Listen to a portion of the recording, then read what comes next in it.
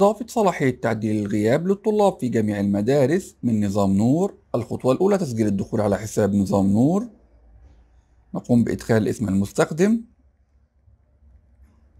نقوم بعدها بإدخال كلمة السر. نقوم بعدها بإدخال رمز التحقق الظاهر في الصورة.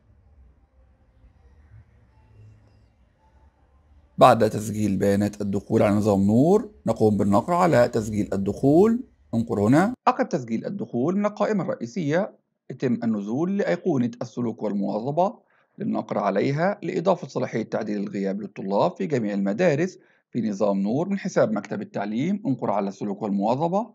هنا اختر أيقونة فتح صلاحية تعديل الغياب للمدارس.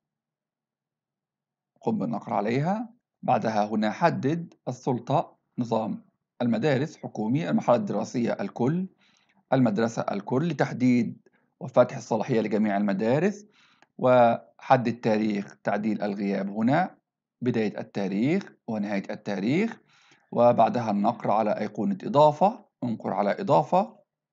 هنا قم بتعديل تاريخ الغياب مرة أخرى بداية تاريخ الغياب بداية تاريخ الغياب ونهاية الفترة. وقم بالنقر على أيقونة حفظ. إضافة صلاحية تعديل الغياب وصادق على صحة كافة التعديلات التي ستتم من قبل مدير المدرسة وتعتبر مدققة بشكل نهائي. انقر على أيقونة نعم.